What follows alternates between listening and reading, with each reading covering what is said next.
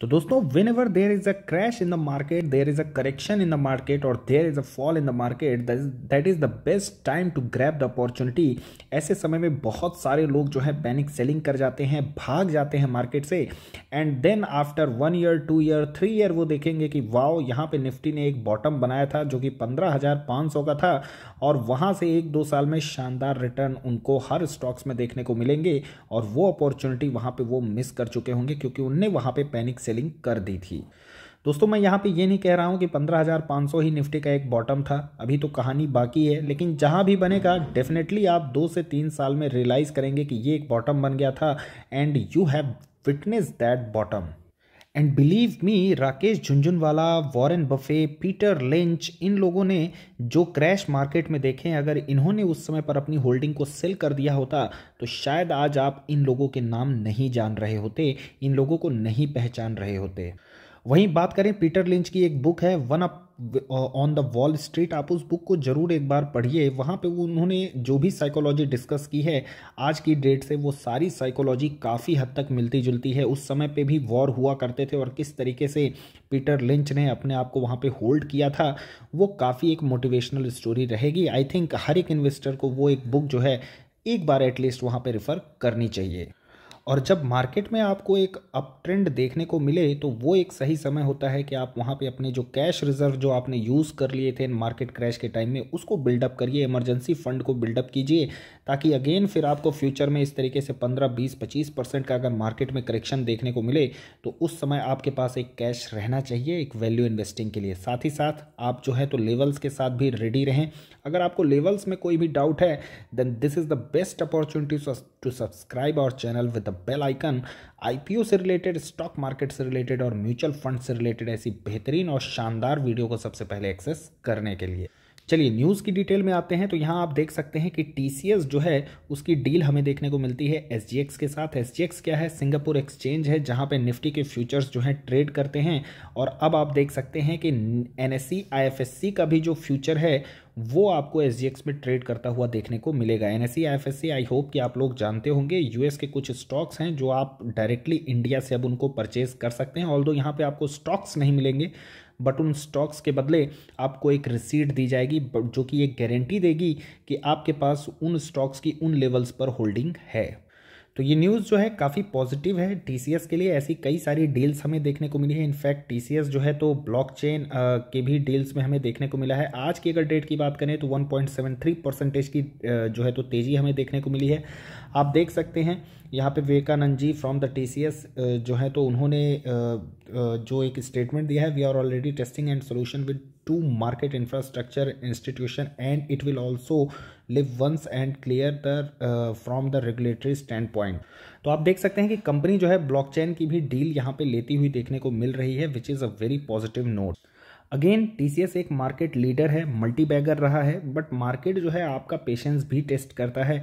अगर आप यहाँ पे सोचेंगे एक दो तीन सालों में तो टीसीएस ने आपको कुछ रिटर्न नहीं दिया। एज एन इन्वेस्टर ये आपका पेशेंस टेस्ट करता है।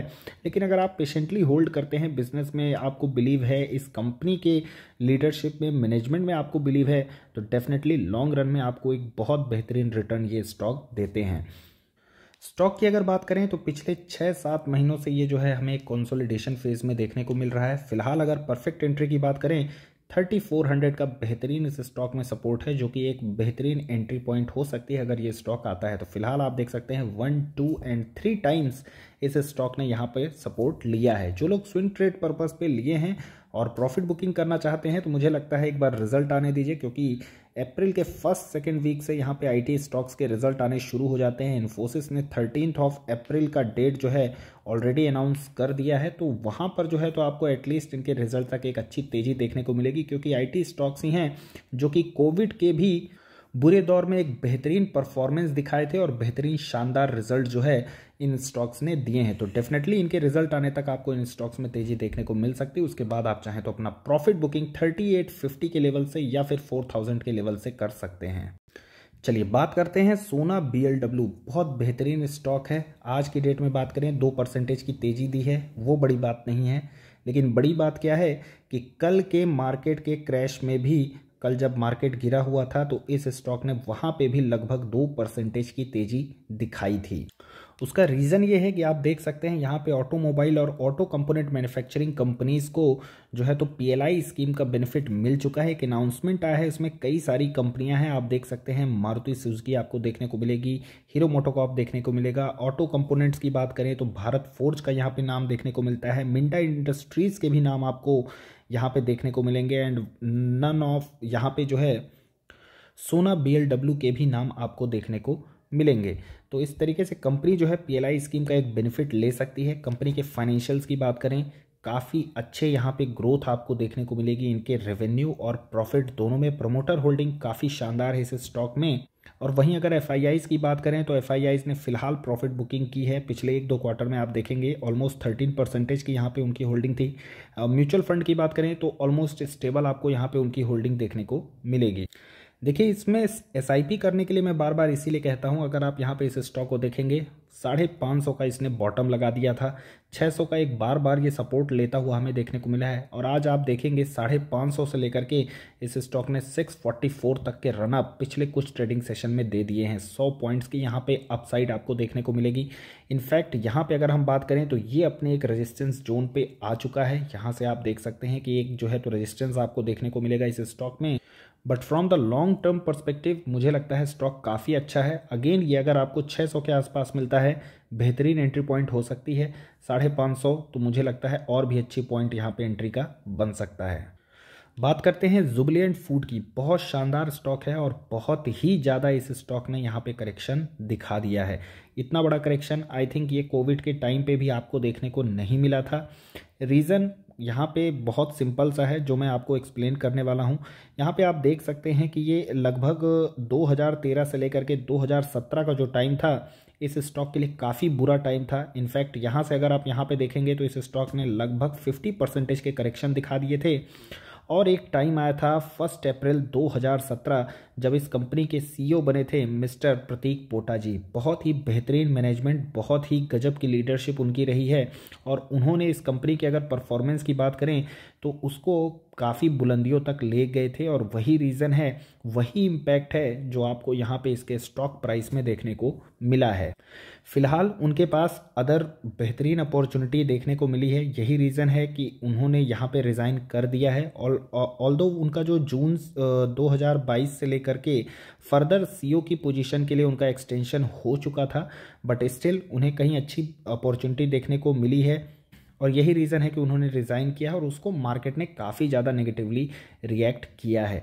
बट आई थिंक कंपनी के फंडामेंटल्स वही रहेंगे इंटैक्ट रहेंगे, और मुझे लगता है कि ये एक अच्छी अपॉर्चुनिटी होगी इस स्टॉक में एंट्री करने के लिए। इस स्टॉक के सपोर्ट की अगर हम बात करें तो ऑलरेडी 2400 पर एक सपोर्ट हमें देखने को मिलता है। फर्दर अगर गिरावट होती है तो 2000 के लेवल पर एक और सपोर्ट आपको देखने को मिल सकता है। और अगर बहुत ही ज़्यादा गिरावट होती है मार्केट में एक नेगेटिविटी बनती है तो वहाँ पर 1500 पर एक और सपोर्ट इस स्टॉक में आपको देखने को मिल सकता है ऑल दो इतना ज़्यादा डाउन साइड एक्सपेक्टेड नहीं है क्योंकि करेक्शन काफ़ी ज़्यादा इस स्टॉक में हो जाएगा, सिर्फ़ यहाँ पे लीडरशिप चेंज होने की वजह से। तो आई थिंक वो एक रीज़न इनफ नहीं है इस स्टॉक को इतना ज़्यादा गिराने के लिए।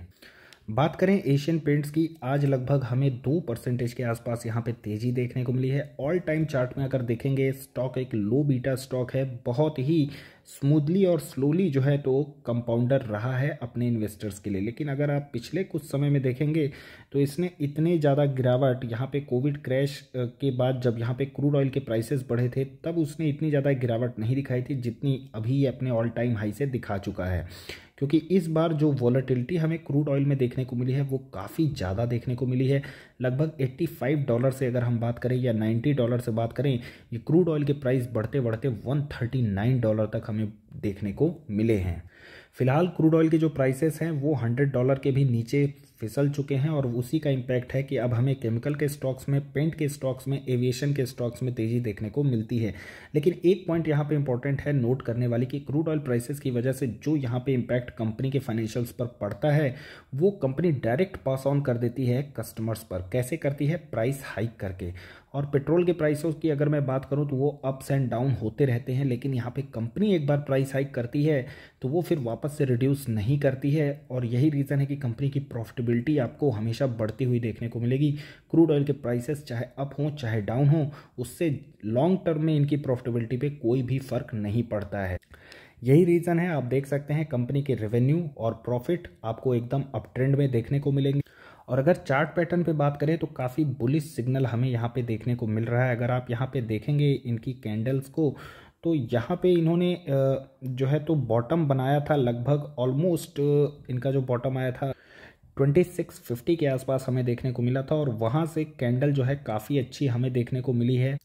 और 2960 का यहाँ पे एक रेजिस्टेंस था, यहाँ पे इस कैंडल ने उस रेजिस्टेंस को भी ब्रेक कर दिया है। तो फर्दर आने वाले टाइम में इस स्टॉक में बत्तीस पचास का एक नेक्स्ट हर्डल देखने को मिलेगा। वहाँ तक इस स्टॉक में तेज़ी आपको देखने को मिल सकती है और अगर ये रेजिस्टेंस ये ब्रेक करता है तो थर्टी फाइव हंड्रेड तक इस स्टॉक को आप जो है तो पहुँचते हुए देख सकते हैं। फ़िलहाल बात करें ऐसे मल्टी बैगर स्टॉक की तो ये जो स्टॉक है, ये आपको अगर 2850 के लेवल पर मिले तो एक बेहतरीन एंट्री पॉइंट यहाँ पे हो सकता है। उसके बाद इसका जो नेक्स्ट सपोर्ट होगा, वो 2500 हो सकता है। और उसके बाद इनका जो अगला सपोर्ट होगा, वो यहाँ पे 2250 होगा। तो इन इन लेवल्स पर अगर ये स्टॉक कभी आपको मिलता है तो मुझे लगता है कि ये अपॉर्चुनिटी मिस नहीं होनी चाहिए। बात करें HDFC बैंक की बैंकिंग सेक्टर का एक लीडर रहा है।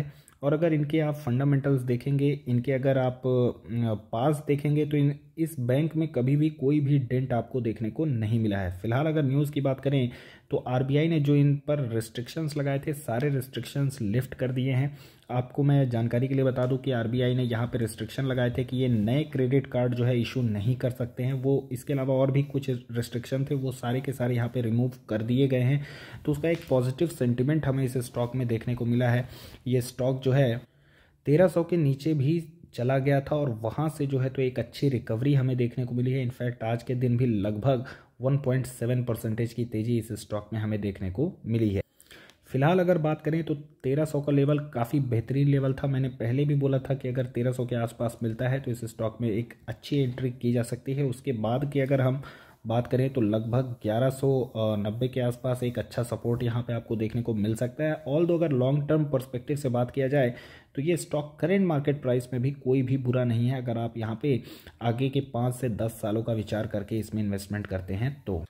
तो दोस्तों, बात करें यहाँ पे हेवल्स की, पाँच परसेंटेज की तेज़ी हमें देखने को मिली है। वोल्टास की बात करें, लगभग पाँच परसेंटेज की तेज़ी यहाँ पे भी देखने को मिली है। जितने भी एसी स्टॉक हैं या फिर समर से रिलेटेड स्टॉक हैं, आपको उन सब में एक अच्छी खासी तेज़ी देखने को मिली है।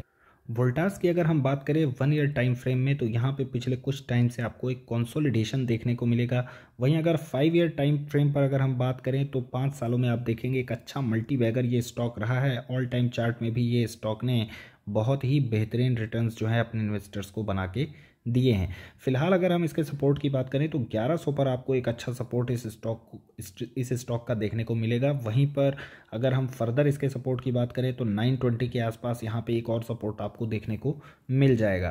ये सारे स्टॉक मैं आपको इसलिए मेंशन कर रहा हूँ क्योंकि अगर बात करें वरुण ब्रिविजेज लिमिटेड की वोल्टास की तो ये कुछ एसी वाले ऐसे स्टॉक होते हैं या फिर समर से रिलेटेड ऐसे स्टॉक होते हैं जो कि लॉन्ग रन में तो आपको रिटर्न देते ही हैं, लेकिन ये थोड़े से साइक्लिक भी हैं जहाँ पर आप चाहें तो स्विंग ट्रेड भी प्ले कर सकते हैं। यानी कि विंटर के टाइम पे जनवरी से फेब के टाइम में जब मार्केट में करेक्शन होता है तो आप चाहें तो इन स्टॉक में पोजीशन ले करके और फिर जब समर से पहले इनमें तेज़ी आती है तो वहाँ पर आप प्रॉफिट बुकिंग कर सकते हैं।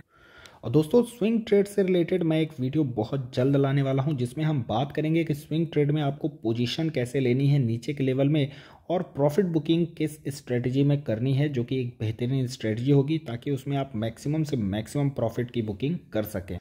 तो आज की दोस्तों वीडियो में बस इतना ही। कंटेंट अगर पसंद आया हो then don't forget to like and subscribe thanks for watching the video